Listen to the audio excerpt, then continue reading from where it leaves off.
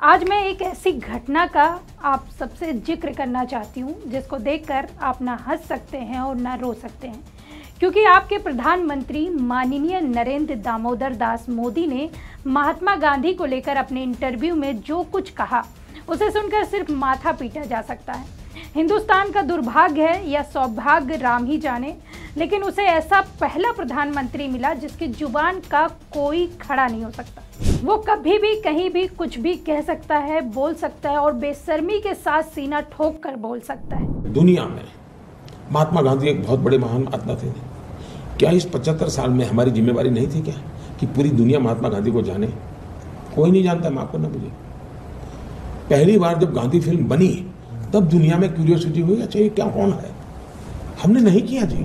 आप इस वीडियो में देखिए जिस तरह से प्रधानमंत्री ने महात्मा गांधी के बारे में कहा कि उन्हें कोई नहीं जानता क्या वो खुद महात्मा गांधी के बारे में जानते हैं? दुनिया में महात्मा गांधी एक बहुत बड़े महान आत्मा थे। क्या इस पचहत्तर साल में हमारी जिम्मेवारी नहीं थी क्या कि पूरी दुनिया महात्मा गांधी को जाने? कोई नहीं जानता माफ़ करना मुझे। पहली बार जब गांधी फ़िल्म बनी तब दुनिया में क्यूरियोसिटी हुई अच्छा ये क्या कौन है?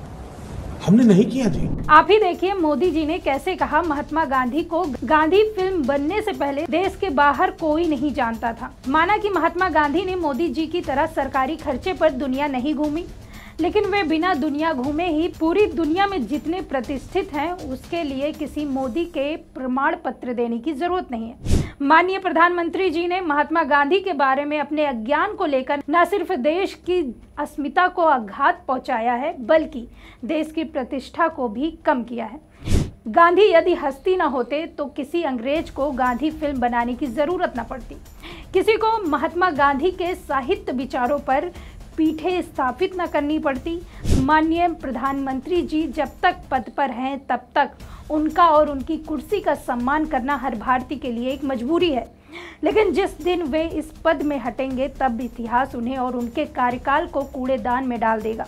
वे ना नेहरू बन पाएँगे और ना ही इंदिरा गांधी। वे ना अटल बिहारी जैसा सम्मान पा सकेंगे और ना ही देश और उन्हें चौधरी चरण सिंह की तरह एक किसान नेता के रूप में याद करेगा। वे डॉक्टर मनमोहन सिंह की तरह अर्थशास्त्री तो कभी कहला ही नहीं सकेंगे। उन्हें देश किस रूप में याद करेगा, ये तय करना आसान नहीं है।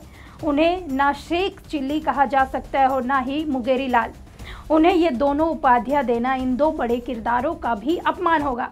फ़िलहाल आज जो प्रधानमंत्री मोदी जी ने कहा, उसको लेकर अत्यंत हर भारतीय दुखी है।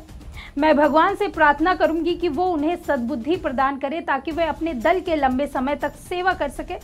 देश की सेवा करना तो अब उनके बूते की बात ही नहीं रही। मोदी जी अपने अज्ञान के लिए निंदा, आलोचना, क्रोध के नहीं दया के पात्र हैं। मोदी जी को ध्यान रखना चाहिए कि वे उस काशी के सांसद हैं जिसकी अपनी ज्ञान परंपरा है। काशी से अब तक सम्मान ज्ञान में इतना कमज़ोर सांसद कभी नहीं चुना गया होगा। पीएम मोदी ने 28 मई को एक चैनल को दिए इंटरव्यू में यह दावा किया कि महात्मा गांधी के बारे में दुनिया पहले कुछ नहीं जानती थी। रिचर्ड एटनबरो की सन उन्नीस सौ बयासी की फ़िल्म गांधी बनने के बाद महात्मा गांधी को पहचान मिली। इस पर राहुल गांधी ने भी कहा, जो लोग नाथुराम गोडसे के हिंसा के रास्ते पर चलते हैं, वे गांधी को नहीं समझ सकते। महात्मा गांधी की किसी शाखा शिक्षित के प्रमाण पत्र की ज़रूरत नहीं है। पीएम मोदी के महात्मा गांधी की पहचान पर किए दावे के बाद राहुल गांधी ने एक्स पर एक वीडियो पोस्ट किया।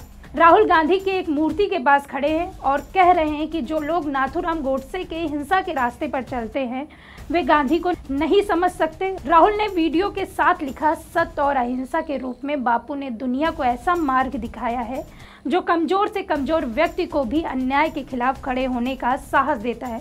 उन्हें किसी शाखा शिक्षित के प्रमाण पत्र की ज़रूरत नहीं है। शाखाओं में जिनकी वर्ल्ड व्यू बनती है, वो गांधी जी को नहीं समझ सकते। वो गोडसे को समझते हैं गोडसे के रास्ते को अपनाते हैं। गांधी जी पूरी दुनिया के लिए एक इंस्पिरेशन थे। Martin Luther King Junior Nelson Mandela Albert Einstein ये सब लोग गांधी से इंस्पायर हुए। हिंदुस्तान में करोड़ों लोग गांधी का रास्ता अपनाते हैं, अहिंसा और सत्य के रास्ते पे चलते हैं। लड़ाई सत्य और असत्य के बीच में है, हिंसा और अहिंसा के बीच में है। हिंसा के लोग, असत्य के लोग ना अहिंसा को समझ सकते हैं ना सत्य को समझते हैं। धन्यवाद।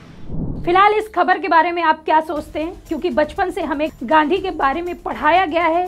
गांधी के नक्शे कदम में चलने के लिए सिखाया भी गया है। एक प्रधानमंत्री, जो भारत देश का प्रधानमंत्री है, उसे अब तक नहीं पता कि गांधी को कौन जानता होगा। क्या खुद प्रधानमंत्री जानते हैं? इस वीडियो के कमेंट बॉक्स पर अपनी राय ज़रूर रखिएगा। तब तक के लिए देखते रहिए 4 पीएम न्यूज़ नेटवर्क। मैं सुष्मिता, नमस्कार।